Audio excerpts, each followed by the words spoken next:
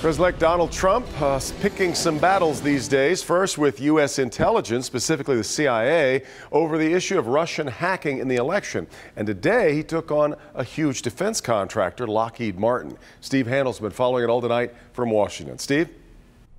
Devin, Lockheed Martin stock prices plunged after Trump called the company out and bragged he will save our nation billions.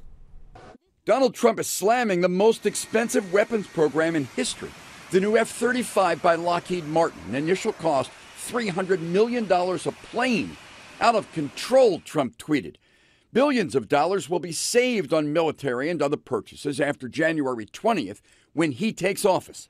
In a new diss of the CIA, Trump called in former CEO Carly Fiorina to discuss U.S. intelligence. She has no experience. We talked about uh, hacking, whether it's Chinese hacking or purported Russian hacking.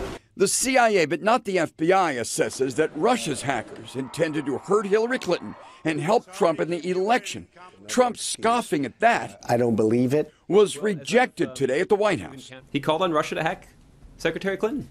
The former head of the CIA is appalled at Trump. He said the intelligence community on which he will rely is incompetent, politicized, and frankly, he didn't have a lot of time for them. That's not a winning formula for him. Congress will investigate.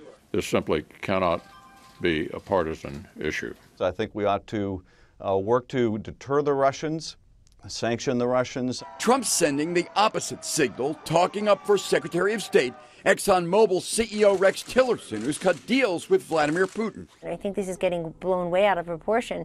It can be looked upon as an asset, not a liability. No Trump decision announced for Secretary of State. If it is Tillerson, senators up here in both parties warn confirmation could be tough.